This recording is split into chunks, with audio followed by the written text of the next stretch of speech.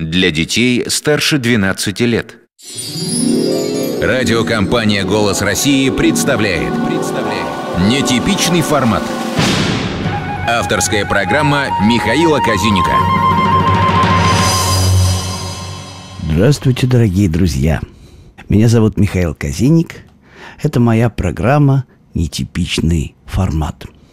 И действительно, когда вокруг сейчас говорят о кризисе, о деньгах, о том, кто виноват, кто не виноват, ищет виновных в разных странах по всему миру, мы говорим о том, что неприходящее, о том, что вечно. Вот сегодняшнюю программу я хочу посвятить одному из величайших певцов, когда-либо жили на нашей планете. Вот как интересно, если я спрошу, как вы думаете, кто это может быть, о ком я говорю? Один из величайших. Сейчас пойдут имена.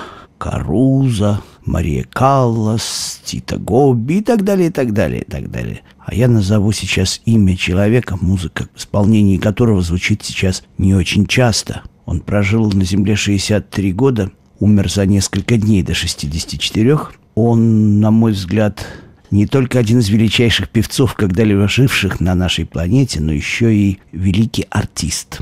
Каждый образ, который он создал, будь то опера или камерное пение – бессмертен. Он свою жизнь прожил в Украине. Именно там возревали много голосов, как и в Италии. И именно Украина и сегодня должна была бы очень серьезно поставить на культуру, на певческую культуру. Это должна была быть страна паломничества со всего мира, как Италия, потому что язык, и какое-то устройство связок, и традиции, и тепло, и эмоция, все говорит о том, что Украина – это певческая страна. Так вот именно там в 1903 году родился певец.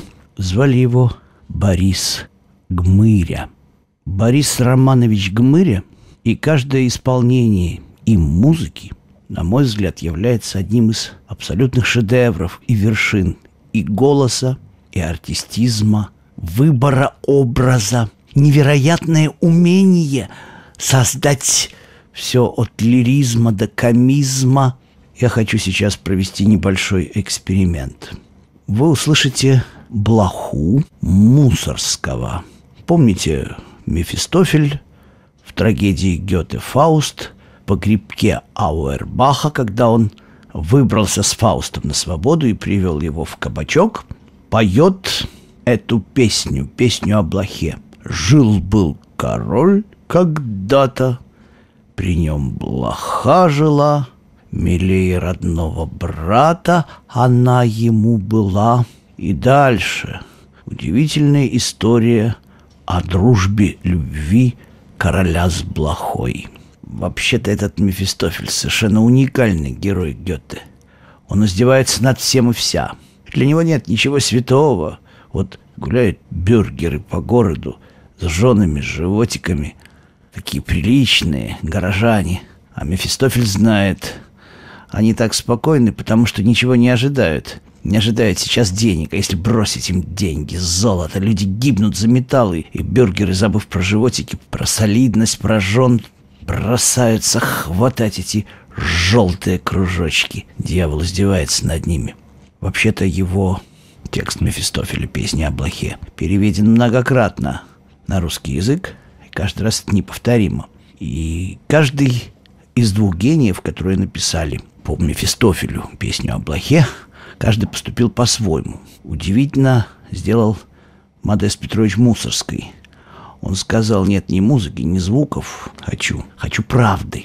Мусорский добился такого уровня звучания, такого невероятного контакта такой сатиры, такого умения изобразить в музыке характеры речи персонажей никто никогда не добивался. Вы знаете, Мусорский делал такие шутки. Он садился за рояль в присутствии массы друзей, что-то играл и говорил, узнаете, кто это? И вдруг все хохотали и показывали на того, кого спародировал Мусорский, не сказав ни одного слова, только через музыку. И вот теперь представьте себе гениальную, вневременную песню Мефистофеля о блохе – о дружбе короля с блохой, поет Гмыря.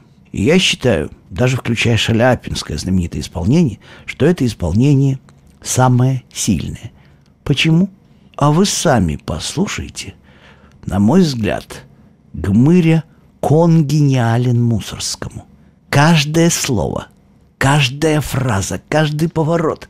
Последите, перед вами не только великий певец Бас, перед вами один из величайших артистов всех времен.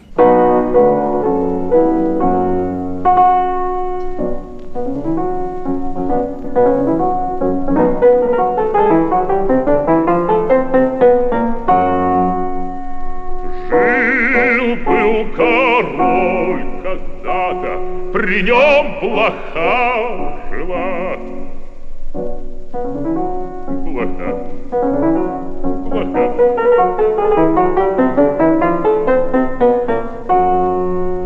Милей родного брата она ему была плоха. Блока. Блока.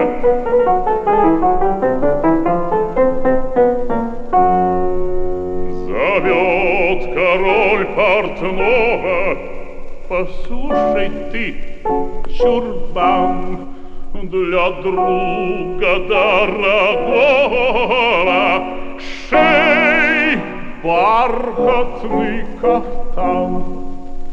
Блохе кафтан. Блохе кафтан. Блохе кафтан.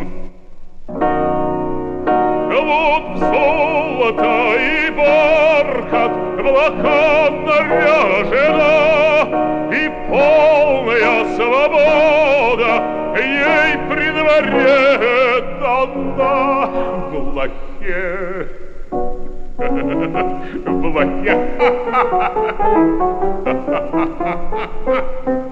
Блохе Король ей сан министра, а с ним звезду дает. За нею и другие пошли все плохим ход. И самой королеве, и фрейлином ее от блох не стало ночи, не стало и житья.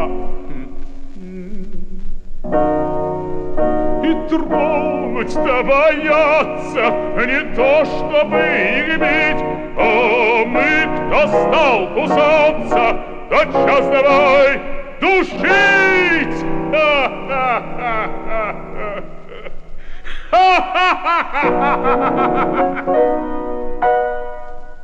Правда, потрясающее исполнение. И музыка, и исполнение. Лучшего я не знаю. Я слышал многих. Есть замечательные, все по-разному. Но то, что делает Гмыря, не повторить, не подразить нельзя. Даже когда он говорит «Шей! Бархатный кафтан». То есть в этом бархатном произношении уже бархат. В конце он, в отличие от Шаляпина, который устраивает революцию на словах «и тронуть-то боятся, не то чтобы их бить, а мы, кто стал кусаться, тотчас давай душить».